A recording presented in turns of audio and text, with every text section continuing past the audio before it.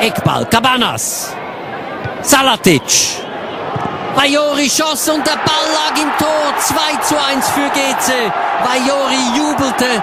Sein Schuss war von Portillo noch abgefälscht worden. Die Geze-Führung ging gut in Ordnung.